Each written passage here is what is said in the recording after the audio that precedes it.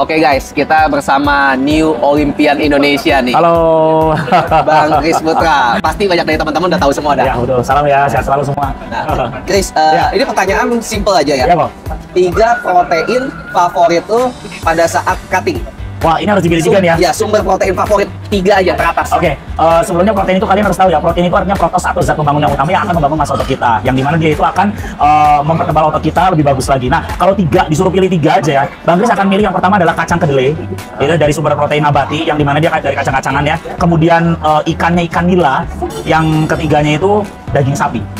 Eh, kenapa nggak ayam gitu? Nah. Sudah karena ayam itu dipakai saat bulking, saat cutting, dan di awal itu udah sering banget makan ayam, jadi ada kecenderungan agak bosen sih. Jadi kenapa Bang Kris itu lebih eh, suka tiga, tiga protein itu dari sapi, ikan, sama eh, protein dari kacang kedelai. Itu versi Bang Chris ya teman-teman. Yang favorit nomor satunya apa dari antara tiga itu? Udah jelas kacang kedelai lah, olahannya dari tahu. Ya memang tahu agak sedikit ya proteinnya ada di angka 8 gram, sedangkan tempe ada di angka 18 gram, sedangkan kacang kedelainya kalau yang murni itu ada di angka 36 gram lebih tinggi.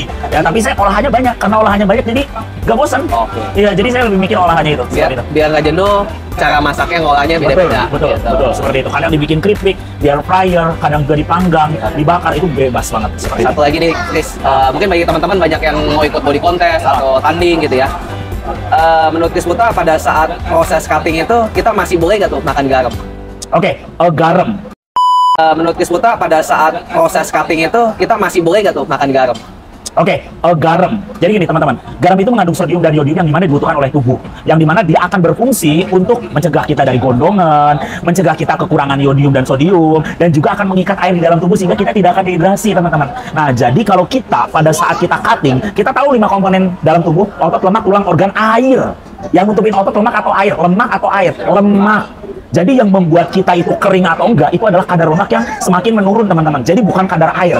Jadi kalau menurut saya garam itu tidak perlu dikat. Karena pada saat kita lagi diet, pada saat kita lagi menurunkan berat badan, itu pasti berhubungan dengan mood.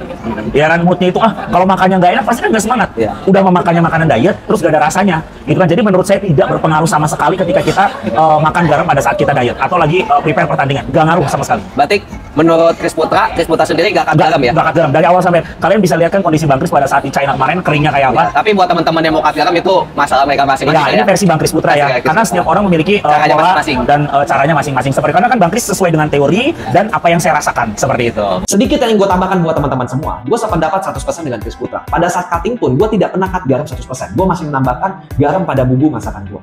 Memang sesuatu yang berlebihan tidak akan baik buat kalian. Tapi ketika kita pakai sesuai dengan kebutuhan kita, kita bisa mendapatkan manfaat dari hal tersebut, teman-teman.